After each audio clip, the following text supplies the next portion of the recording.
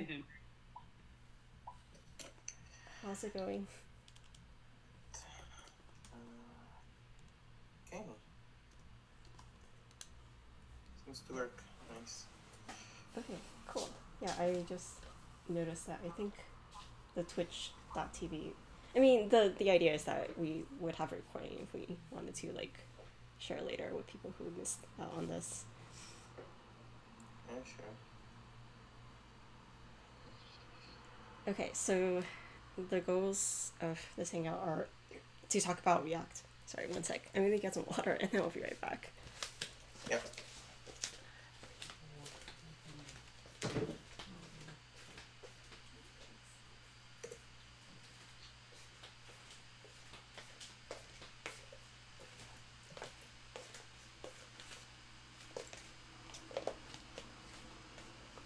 Alright, I'm back.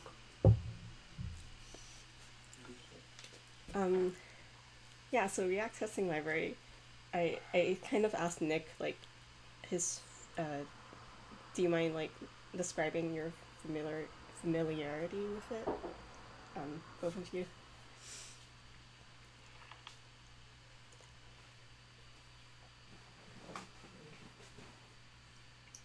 Well, uh, it was on me or or Nick. Oh, sorry. Uh, either. Yeah. Okay. Uh, yeah. So, uh, actually, no experience whatsoever with uh, React testing library. uh, like we have React at job, but we usually use some some other tools. We have like Storybook for components and also like more more complex uh, integration tests for all applications. So I'm actually quite excited to learn something something new, maybe some new view on the on the topic of testing React. Awesome. Cool. So I was saying to before you came on, Henry. I was saying to Linda, I've done a little bit of this before. Um, I've been through a load of videos online about it, and I've tried to start um, bringing it into like a simple, simple project and testing that. Um, it was mostly done on um, class-based components, so I'd be kind of interested if there's any more like up-to-date stuff, like using the hooks. It seems to be a bit more tricky to test some of the hook-based stuff, but yeah. So I've done a little bit. Uh-huh.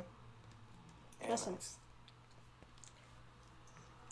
Yeah, it's it's quite a pain in React when like there's only only tutorials for like class class components and I'm rather using the functional style and hooks. So yeah, I know what you mean.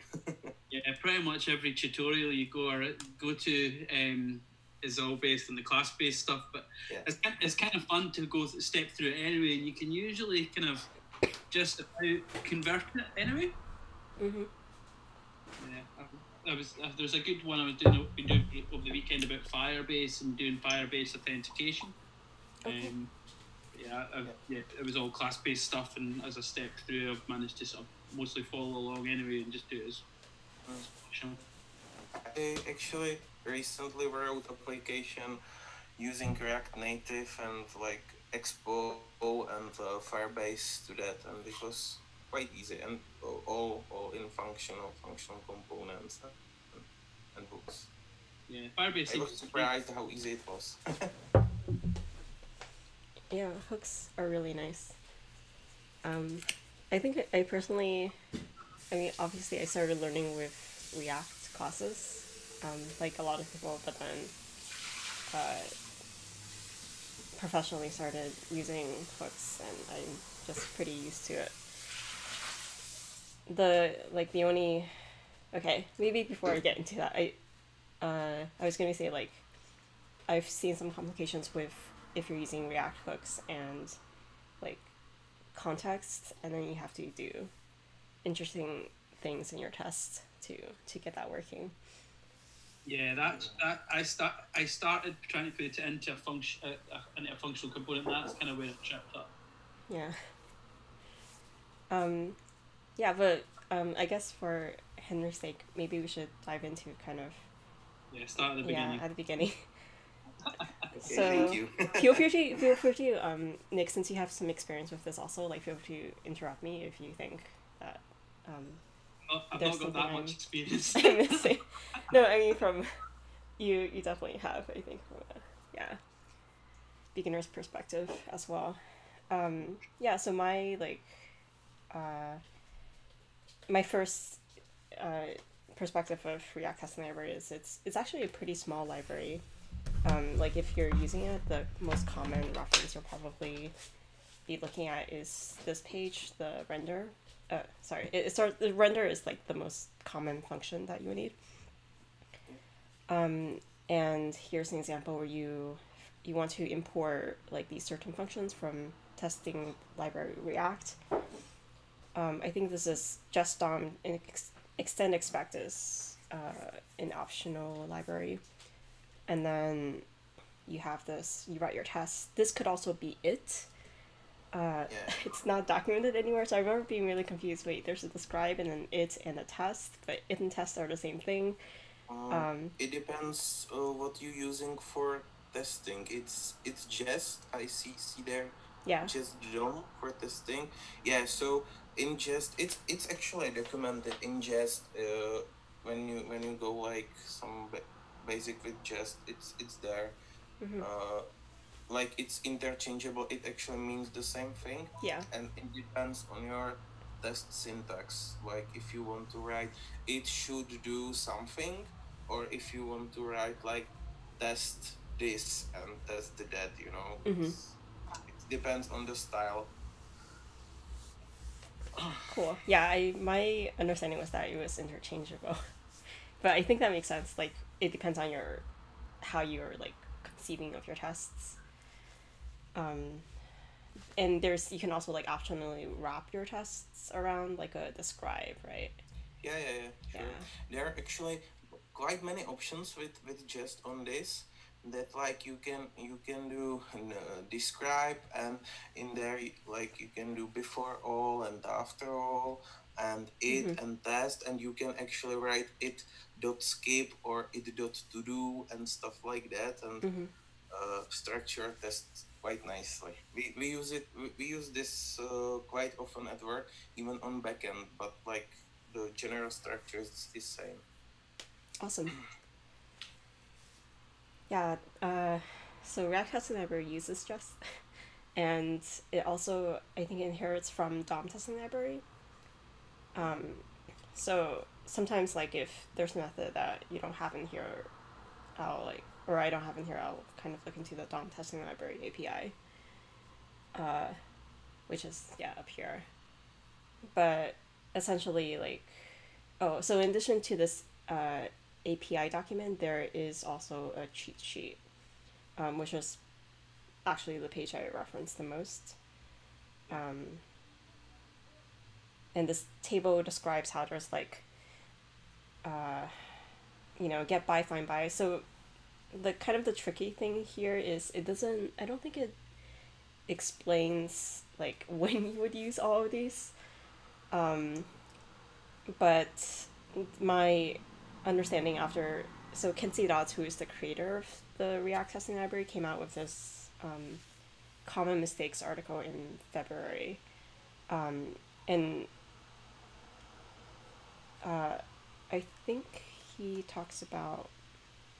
Sorry, I'm typing with my left hand only because I sprayed my right hand, and uh, so it's a little bit slow. Um, but two things um, I took away from this article is that in general you should try using get by role. Um, and get by role means uh, you can think of it as like the role attribute in a HTML element, but mo- more often is the case like the role attribute is implicit. So if you wanted to like um, select an input text, for example, you do get by role, and then the uh, role would be uh, I think it's called text box, which applies to form uh, like in, input box input boxes. okay that, that's interesting Um, the other thing is there's a screen. In these examples, he has uh, a lot of like screen dot get by role, which is not uh, hasn't been updated in the API docs quite yet. Where if you can see here, we have like a const and then you're destructuring, for example, container and get by text, and then you're just doing get by text. But what we can, the um, suggested way to do it in according to to this article is to not uh, not do the destructuring and use screen instead. So uh, Okay. instead of doing like destructuring here, we're just rendering the component, um, and then we're using screen dot blah blah blah. So we don't have to like remember. Oh, did we use a get by role, uh, you know, method or another or get by text or a find by text, which I used to always like have to go back and try to remember to put into the destructuring if I forgot what I used. Yeah. And um, like I have a question. Uh, Mm-hmm. Do you know why why they like switch switch the use like this, like from the structuring to the screen? Like, what's the practical reason for Uh, this change? practically it just makes your life a lot easier when like as you're writing your test sometimes you don't know if you need um, get by text on is only works if there is one of those in the document otherwise you have to use get all by text so oftentimes if there's like two of the same like if i'm doing get by text um, you know some uh, title I- I- or yeah, and it appears twice on the page, and I forgot that it appears twice. I'd have to uh, remember to change it to get all by text, um, Yeah. which which returns an array, and then I have to go back up and like add get Yeah, all by right. text, and then Yeah, remove yeah, the get yeah. by text. Yeah, it's yeah. And now now I see it. Yeah, it's it's much more practical. Yeah. Thank Yeah. you. So that was just like, I mean, initially when I first read this, I didn't, I somehow like missed what it meant, and then the coworker explained. I was like, oh yeah, that's really useful. Um, and then there are other things like don't use uh, if you only use the query all if you're um, oh like here it says don't use container at all to query for elements. Use get by role. So i think that's the again the new the new suggestion. Um, i don't remember if it's here or elsewhere but there is one about like if if you're checking that something is in the document you check you do like screen that um, oh here here it is right here yeah so if you're checking that uh, it's in the document, then don't use query, use get by. If you're checking that something is not in the document, then you, you want to use query. Which is just like a rule. Only use the query um, star variants for asserting that an element cannot be found. And that obviously is not documented in um, in the API as much.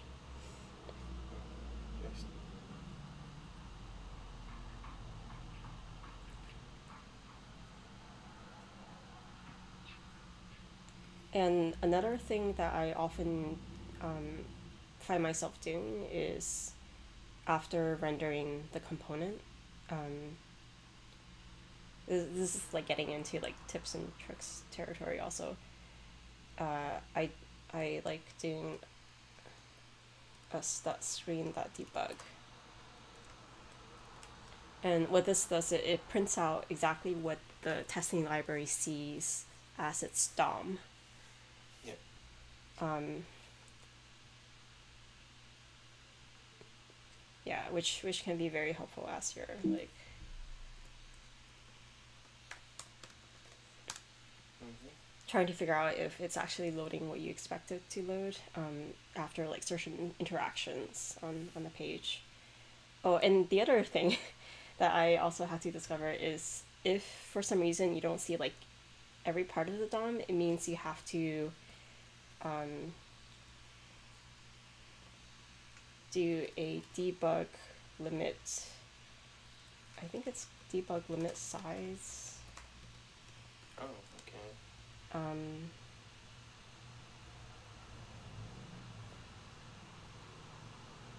okay. It's, So Oh, it's- there's some like ma- maximum limit uh, for the for the debug output. yeah. So you just. Uh, oh, sorry. Debug print limit. Um, so you run this like at the beginning of your uh, thing, and you might have to like even increase increase that.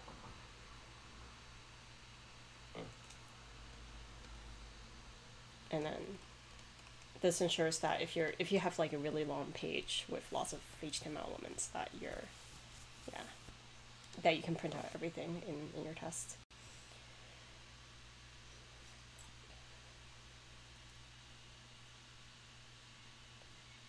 Um, yeah, is there anything that you want to add, uh, Henry or, or Nick? That No, that's all pretty straightforward, I think. Okay, cool. Um, oh yeah, so I guess one thing we can like do is uh,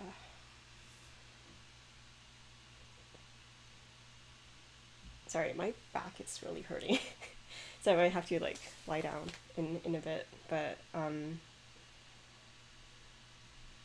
one thing I started doing was uh refactoring um, a test that I had written a little bit, and I can kind of show you like what I did. There's also uh, yeah. Um, hopefully this diff is large enough. So yeah, I removed the destructuring. Um, use screen that get by text, etc., and then query by for non-existence. I guess this could all. I just realized this could all be like dot not dot to be no or dot not dot to be in the document. Um,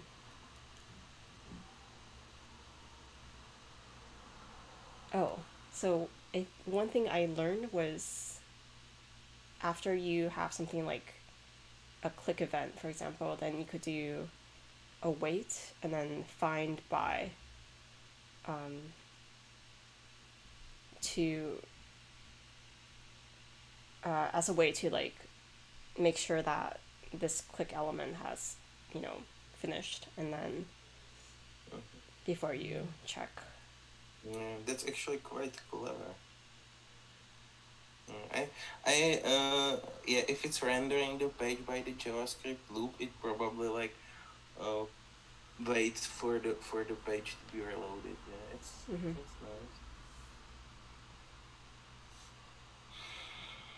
yeah so here i'm doing more destructuring oh this was like this was like one of my favorite changes um yeah so another thing is like you don't need to wrap your fire events in a way to act so the reason i was doing this is because i kept getting all these like uh, warning you need to wrap stuff in act messages and to be honest i'm still like working through understanding uh, this this warning um, Kent C. Dodds wrote an article about it, which I haven't.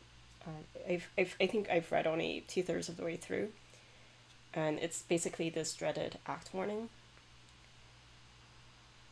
Uh, which I think it's it's pretty common and also pretty annoying. And when you read it, you think, oh, you're supposed to wrap all your fire events inside act, but actually, um, apparently what's it's number one it only appears like for if you have uh, functional like hook components.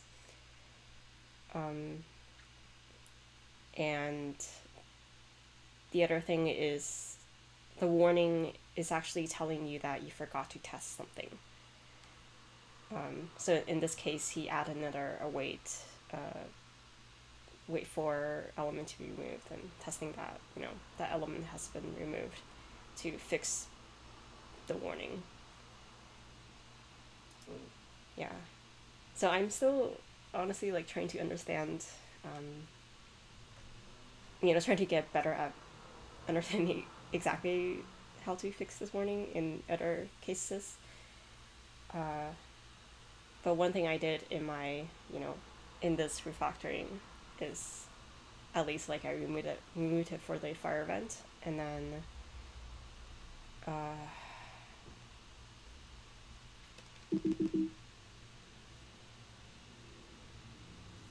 yeah, and the test still passed without it. Um, I think. Sorry, I'm trying to remember if I did anything else.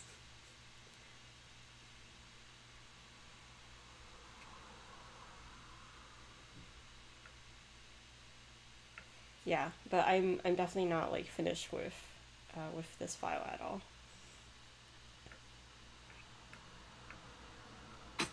Oh, I, I think what I did was um, here I just had like a wait and act. Or this is what I had before probably.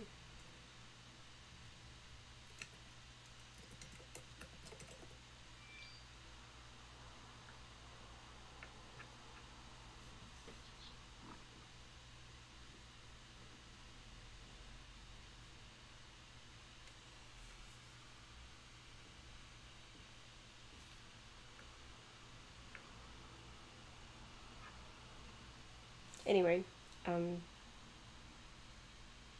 do you want to? Uh, do you guys have any questions or want to talk about uh,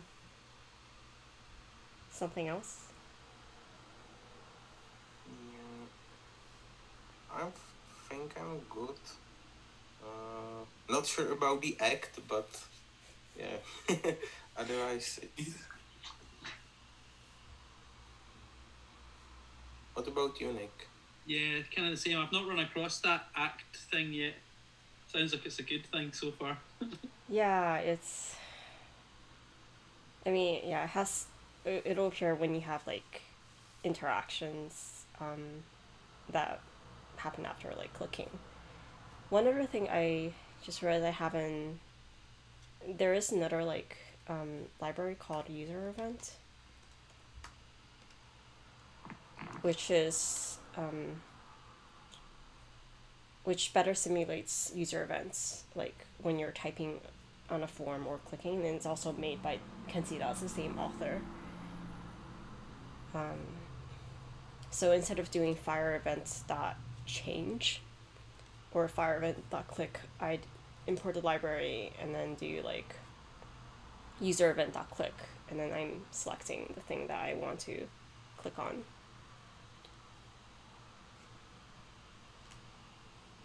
And they also have double click and like uh, element dot clear.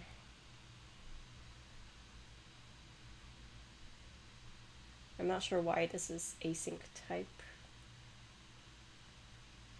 Oh, you're I guess you're typing into an, a text area, and then you're waiting that what you typed gets rendered out.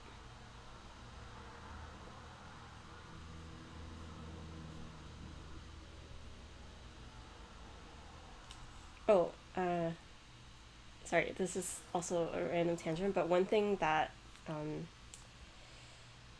you have to be careful about that uh, Goro, he's a another, uh, he's a contributor to like uh, to this project. He he was having trouble like um, getting this to run properly because after you click on the submit button, like this is a register form, right? Um, like he was adding timeouts here to try to like get this to pass. Um, because after you submit, you uh, this is you know called once, and it turned out that the reason he it wasn't passing wasn't because anything was wrong with like this test. It was because um, when initially when I wrote to select the button, I like did I get by text, submit, and it selected the span element inside the button and not the actual button. So the React testing library was clicking on the span, but was not clicking on the actual button, so nothing was submitted.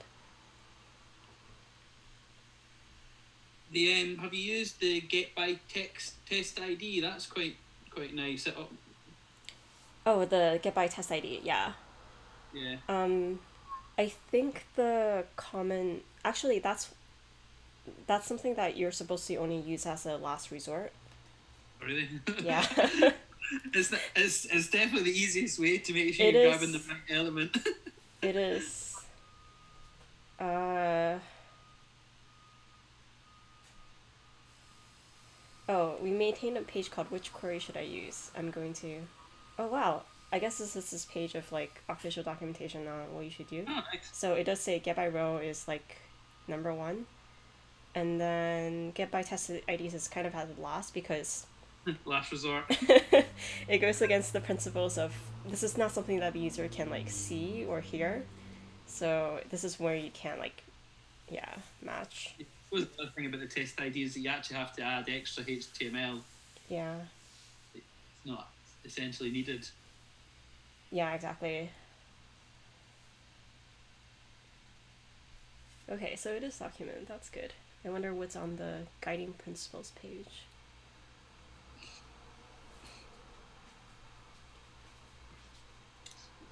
Yeah, I mean, overall, it's you're testing like that the user sees certain text on the page. So like even if you convert your components into from class to functional or like if you change your CSS stylings, then that shouldn't those implementation details shouldn't affect your tests. Yeah.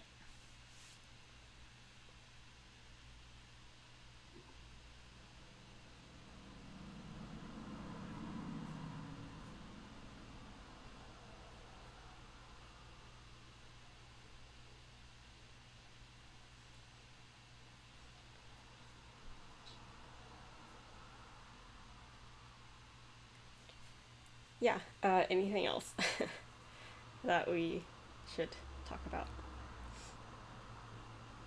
So you mentioned um, that we're testing what the user sees on the screen.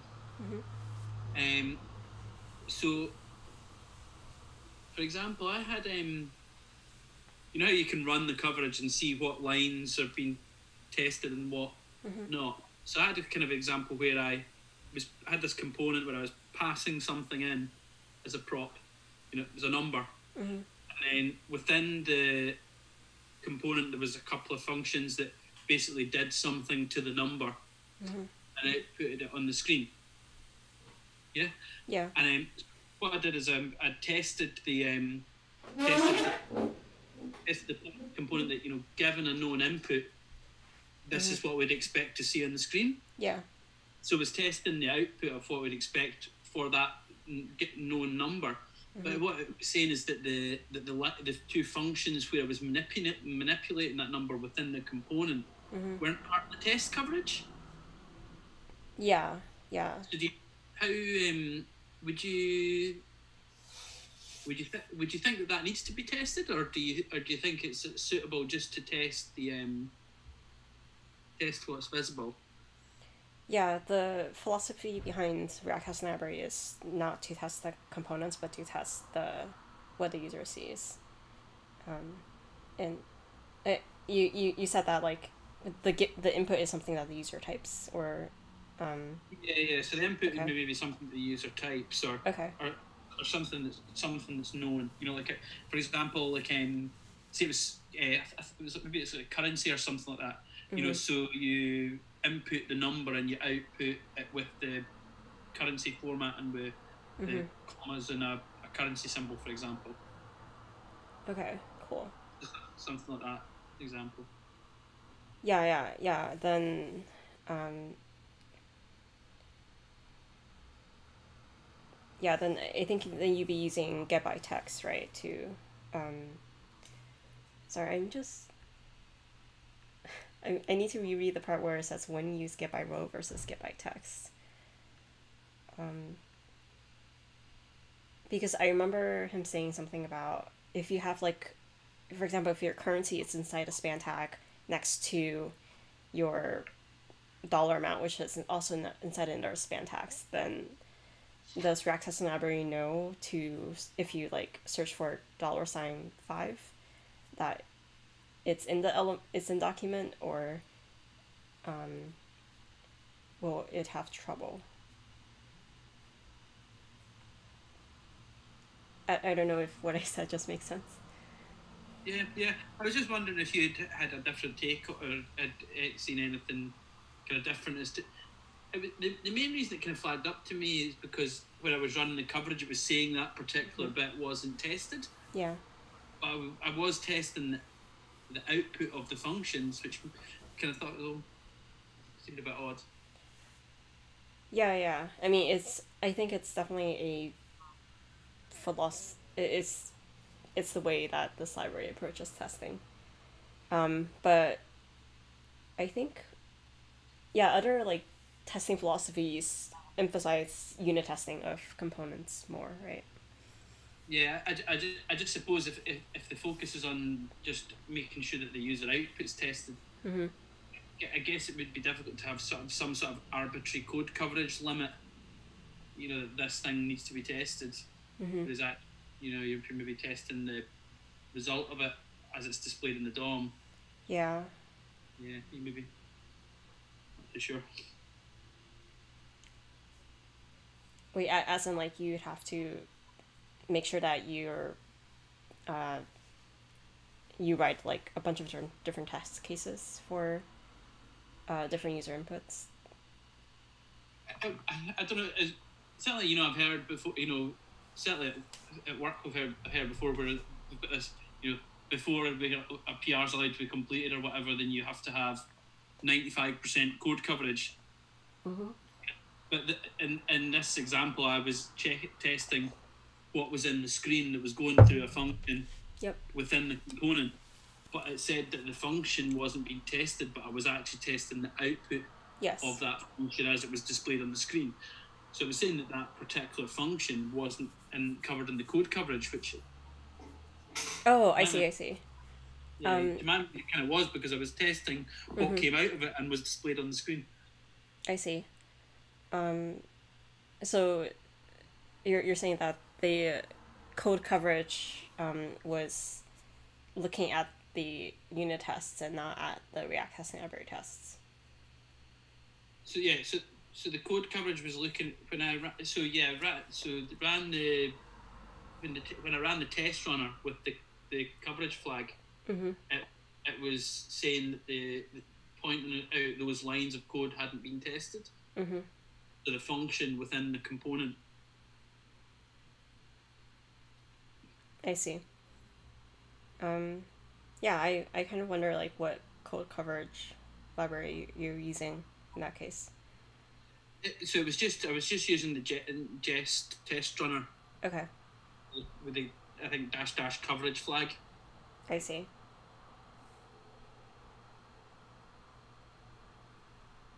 Yeah, I Maybe check out if there's some other options.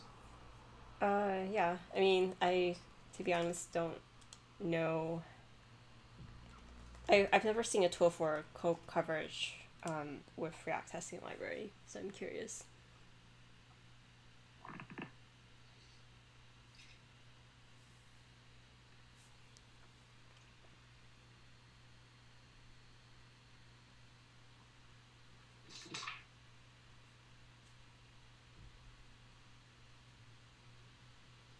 Yeah, so looks like this is what you were running. And then RTL does not collect coverage. What? NPM run coverage? An actual answer to this question exists. Okay, let's look at this.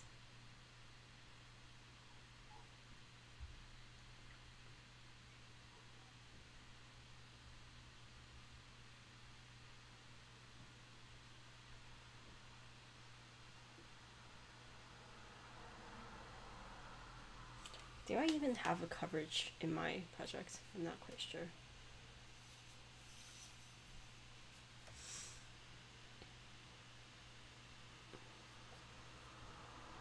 Okay, I don't.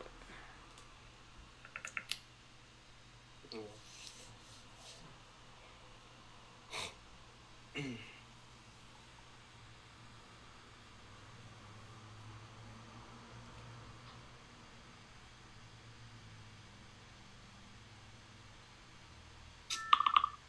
Yeah, I'm going to put this on my list to explore later.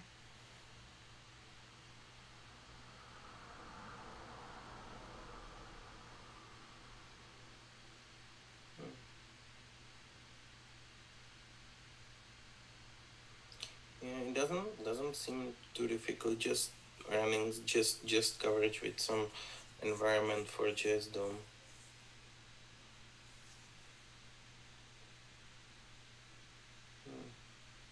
Oh, environment is JS DOM and then Yeah. coverage. It's uh, it's configurable option for Jest like the environment, and it depends. Like, uh, for example, uh, when we use TypeScript uh, on the backend, we use environment as node uh, for for running Jest. Mm-hmm. Because it's like TypeScript for for Node.js. Do you think I should try this? It depends. Okay. Yep. Yes, that's pretty much as I was running. What I was I don't I don't think you need the CI CI through there actually. Oh, okay. Yeah, because that just rule it for something else.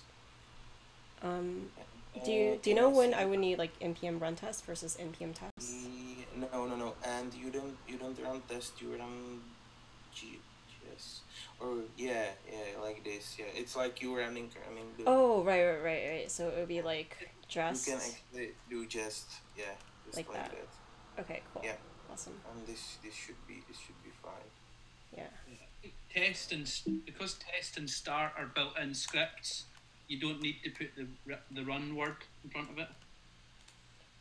Um, I see. Yep. So it's just yeah, doing Just that. do npm test, npm run. Uh, test coverage.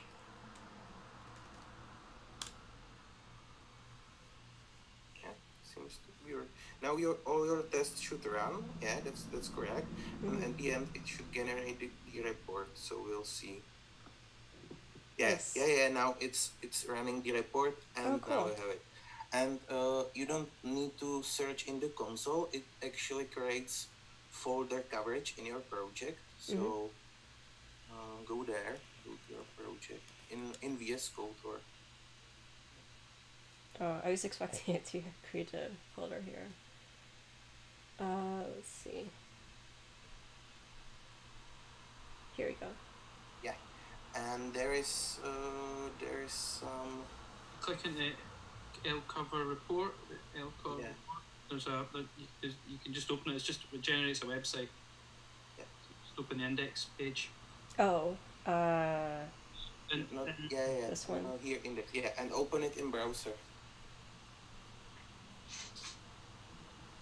how do I get to the source? uh, the I think when you click uh, copy yeah, path? Here we go. Or copy relative. Remote URL, probably. yeah, yeah that's that's maybe better Uh, okay. No, that did not work. Uh, copy remote URL. mm. There's there's open open file open Open file on remote. Nope. no it's this for revision uh, Is this? Oh, first, do I need the React app running because I don't have? I don't think I have that running. no, you shouldn't need the React. app okay, run. it's just. no uh, no no that just uh, complete HTML like with everything um uh, Okay. can you just Maybe copy path. path maybe Yeah. Right, right. Here we go. Yeah, yeah, yeah. Nice. That's that's yeah, that's it. Cool. And now now you can like go through your components, Mhm. like for example search maybe or something, and like you can click and see uh, which part of the components are tested. You can go to the individual files, Mhm. uh, and you can see the lines and it like marks you exactly the part of the code that that is not tested. So Awesome. Yeah. Thanks so much. and it even shows you how many times it got tested. So the pattern statement was called twice and the uh, prototype was called once Mhm. in your test.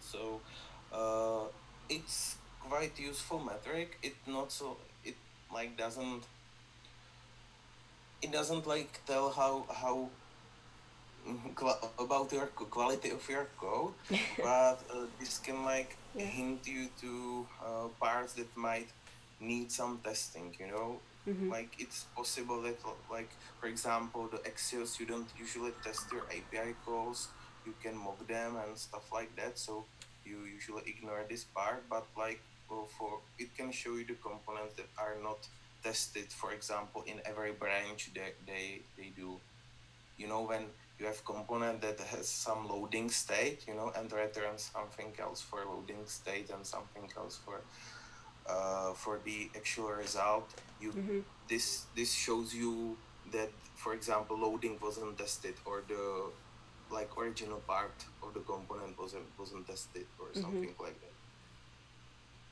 Cool. That that makes a lot of sense. Yeah, I just noticed that, for example, like in login form, it's highlighting this the parts that were not tested. yep. redirect wasn't tested there yeah that's Um, Yeah. exactly, exactly But the same thing is in sign up form, but for some reason sign up form is like has it, has a lower Uh, percentage of functions. These are different different things like there's a statement testing, branches testing, and function testing and line testing. Mhm. Like that's that's uh, four four different metrics, and uh, each one is for some like something else. Like lines, it tells you how many lines from how many lines. Uh, functions tells you like about if you called all your functions the branches uh, part tells you if uh, you called all branches of your if statements or switch statements there you know Mhm. and it depends uh, what you want to focus on Cool. Yes, I suppose in the scenario like I was talking about, if I really wanted, I could have just imported the function and just done a test for the function as well to get the yeah coverage up. yeah definitely Oh, okay, that makes sense now. Yep.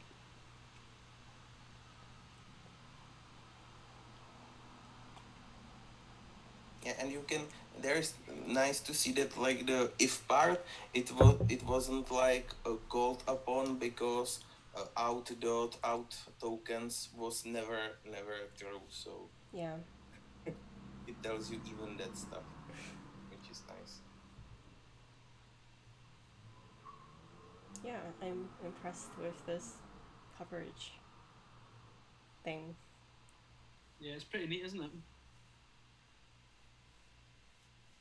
Very excited to It doesn't. that seem to- It doesn't seem to matter what file the the tests are in either. You know, Mm-hmm. there was one one component that I hadn't really intentionally tested, but through the course of testing all the other files, that that, that particular component was small and didn't have much in it, and it was tested anyway.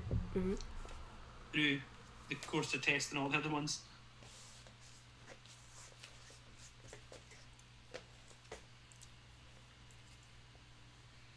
Um, I'll be I'll be back in a minute. I need to lie down because my my back is hurting. So, one second.